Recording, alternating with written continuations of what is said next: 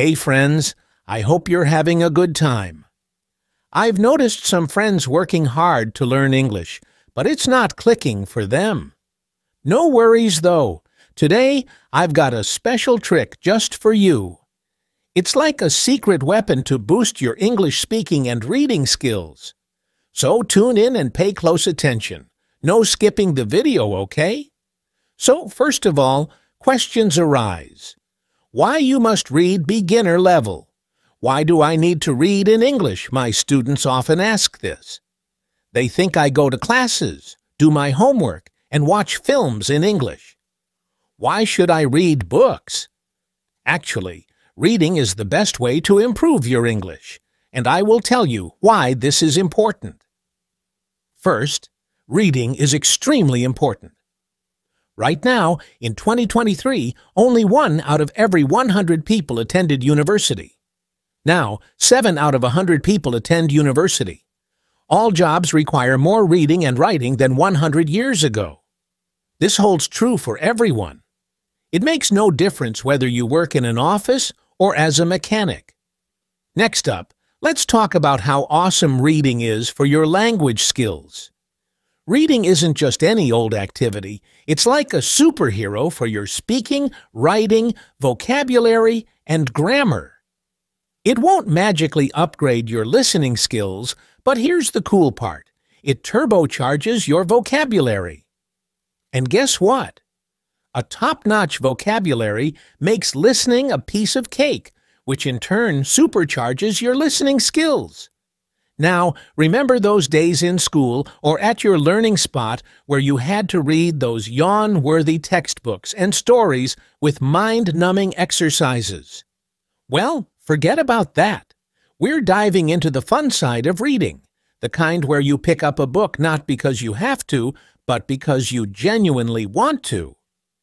It's like choosing the coolest adventure over the same old routine. Ready for the reading thrill? Let's do this. That means reading a book you enjoy because you enjoy it. You are not reading because your teacher said, read this book. You are not reading because you think, I should read this book. You are reading because you want to. Back in 1966, something super interesting happened in American schools. There were these special schools for boys who made some not-so-great choices, like taking things that weren't theirs. But then a brilliant idea popped up. They decided to give some of these boys free books. And guess what? These weren't just any books. They were the exciting kind, like James Bond adventures. Now, here's the plot twist. The grown-up said, You do you. No need to read these books if you don't want to. But guess what those boys did? Yep, they read those books like there was no tomorrow. Some even finished a whole book every two days. Fast forward two years and magic happened. They tested the students. The ones who got those cool books became reading and writing superheroes, and even started liking school more. How cool is that? Students who did not receive books did not improve their reading and writing skills. Actually, some of them worsened. This isn't just true for native speakers. They also did an experiment on students learning English in the Fiji Islands. They used three ways to teach. The first way was normal English teaching. Let's rewind to the English class adventure. So, there were three ways to tackle the language puzzle. First, the classic route. Grammar classes, exercises, and all that jazz. Then we had the second way, a silent reading party. Picture this. Students diving into books, silently exploring English wonders. And the third way? A reading fiesta together. The teacher transformed into a storytelling maestro, reading tales to the eager audience. Now, fast forward one year, and guess what? The reading buddies stole the spotlight. They aced the language game, leaving the grammar class crew in the dust. The story doesn't end there. They repeated the magical experiment in the land of Singapore. And oh boy, the silent readers rocked the grammar tests, claiming the crown for the best performance.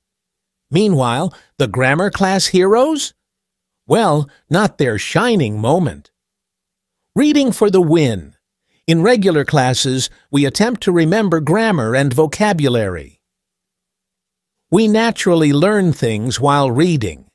Perhaps you're thinking, when I read in English, it's too difficult. I have to use the dictionary all of the time. It is boring. I can't do it. I understand. So I wrote this book. I believe this book will make you enjoy reading because the stories are simple and entertaining. The early stories are short and easy, whereas the later ones are more challenging. After finishing the book, you will think, wow, I did it. Now you can read the stories at beginner, pre-intermediate, intermediate, or advanced levels. The stories are all fairy tales. Some are very popular fairy tales, but some are not so popular. If you're on the lookout for more fantastic content like this, head over to my YouTube channel. Dive into the playlists or explore the variety of videos, and you're bound to stumble upon a treasure trove of similar gems. Whether you're into educational journeys, entertaining stories, or insightful discussions, there's something special waiting for you. Maybe you're thinking, fairy tales are for children. I need useful vocabulary. I need to learn about business and science. That can't be fun. Actually, the vocabulary in these stories will be helpful. McQuillan conducted an experiment analyzing vocabulary in 22 novels. 85% of the words were from academic word lists lists of words required to study at the university. Rolls and Rodgers also conducted an experiment. They asked if students read a million words of science fiction.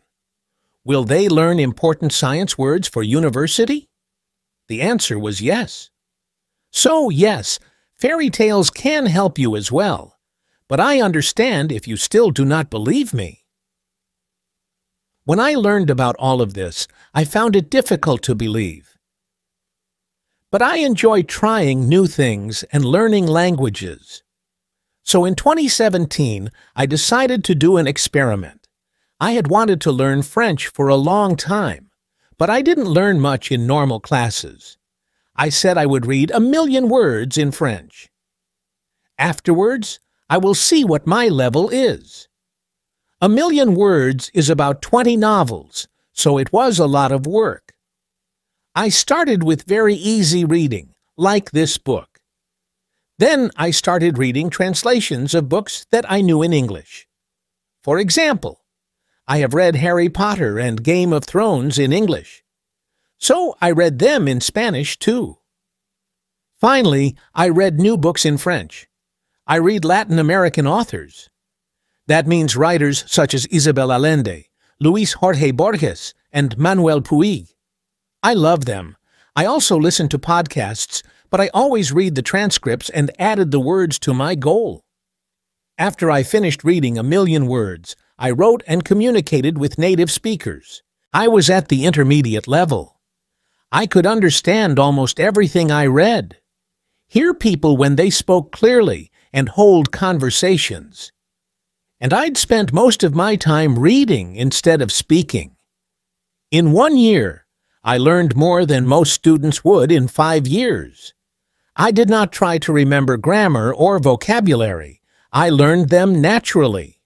Maybe you're thinking, I don't believe this, or confused. I am going to read for hours every day.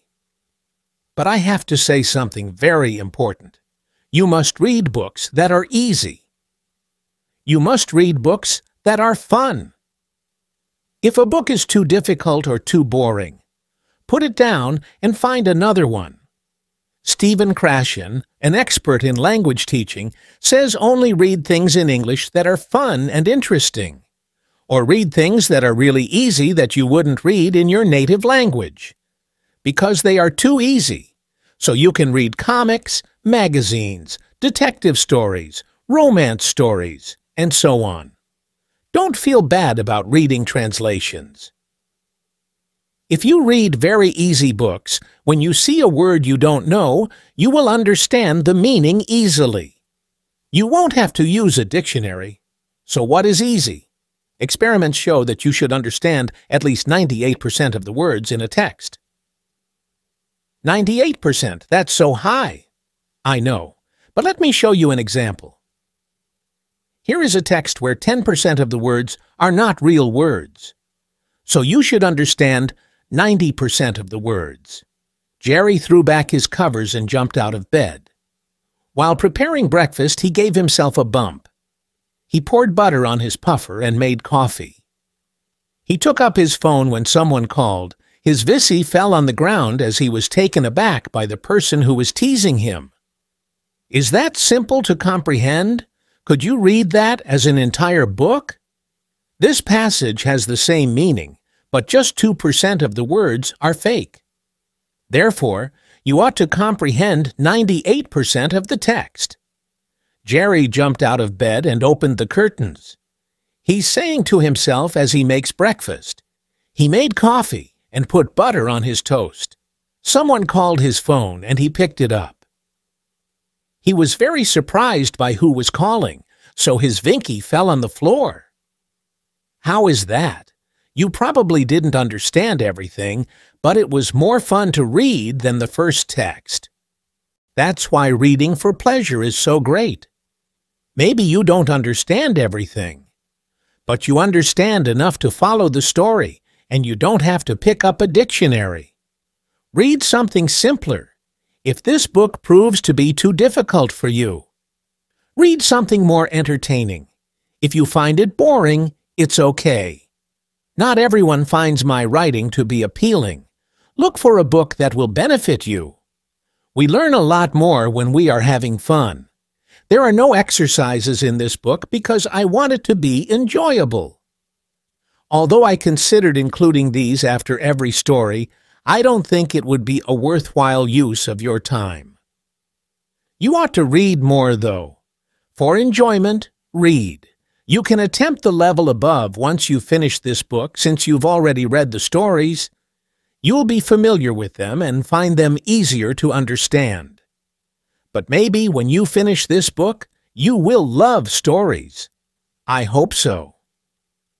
If you do want to read more, you can browse my YouTube channel.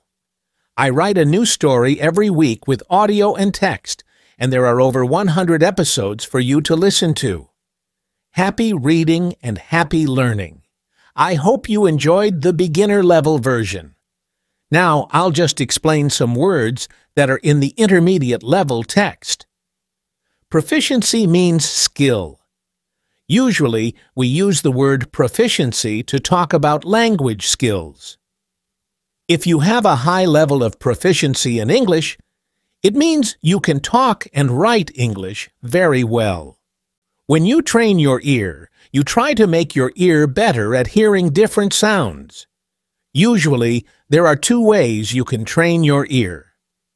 You can train your ear for music so that you can hear the difference between different musical notes better. Or you can train your ear for language so that you can listen better in that language. A young person who has committed crimes, a juvenile delinquent, is a juvenile delinquent. Since juvenile offenders are not adults, they are not sent to prison. Rather, they are sent to juvenile delinquent reform centers, which are facilities designed to assist in the rehabilitation and reformation of young individuals. Replicating a study involves taking an existing academic study and conducting it again, but in a different setting. The goal is to reproduce the study while maintaining identical settings to see if the outcomes are the same. A study can be considered scientifically proven or disproven if it is repeated numerous times and yields the same results. When you memorize something, you make yourself remember it. There are many ways to memorize things. One way is to repeat it, to say it many times to yourself. Another way is to think of an image, a picture that goes with it. To be honest, people often try to memorize words when they learn a language, but this is a very bad way of learning words, as you will forget them within a few months. Second language acquisition is the scientific study of how we learn languages. Second languages are languages that are not your native language or your first language. Acquisition means acquiring and learning. The field of second language acquisition has lots of important research for language teachers like me. Saying something like, there's no shame in doing it, implies that you shouldn't feel guilty or ashamed about doing it. For instance, a lot of individuals are afraid of making mistakes when speaking a language. Although mistakes are not a source of shame, it is normal to make mistakes when learning a language. Thus, we shouldn't feel bad about it. Something is easily understandable when it is intelligible. When I teach, I put a lot of effort into making sure that the kids can understand me and that I am intelligible to them. I hope this edition of the show makes sense to you. Don't sweat. It means don't worry about it. For example, if one of my students says, I'm really sorry, sir. I tried really hard to complete my homework by today, but I ran out of time. Can I have more time to do it? I would say, don't sweat it. Take as long as you need. When you contradict something, you say the opposite of it. You say something against it. Let's chat about something we all do, saying one thing and doing another. Imagine telling your kids, don't smoke, and then sneaking out for a quick cigarette. That's what we call contradiction. Yep, humans are experts at it. Now, here's a cool trick to polish your language skills the shadow technique. The secret sauce? Talk and read a bunch, and you'll become a language superstar. So talk and read like there's no tomorrow. Practice is the key. And hey, if you enjoyed this video, spread the love. Give it a thumbs up, share it with your pals, and hit that subscribe button. Let's keep the good vibes going.